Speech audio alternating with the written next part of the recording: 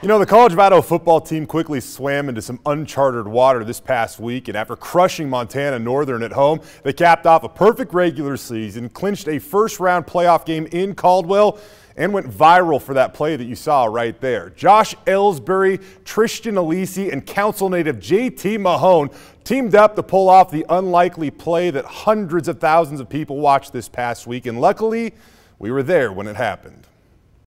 We say all the time, football is a crazy game and, and crazy stuff happens and it's really, really, really, really cool when it bounces your way. We're lining up, regular play, third and short. I knew my guy was gonna do some shallow route and so I just saw the quarterback throw it to him. I was breaking on it. I saw where his hands were and I punched at them. At last second I saw him pop the ball out. All of a sudden something crazy happens. All I heard was dink. I heard the crowd like gasp, turned around and I was like, do not drop this ball. I knew it was coming at me. I'm like, if I drop this ball, I'm not going to live this down.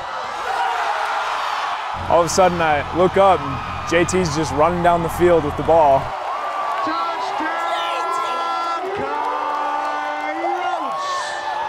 I was like, how did that even happen? Going back, I'm like, did that really happen that way?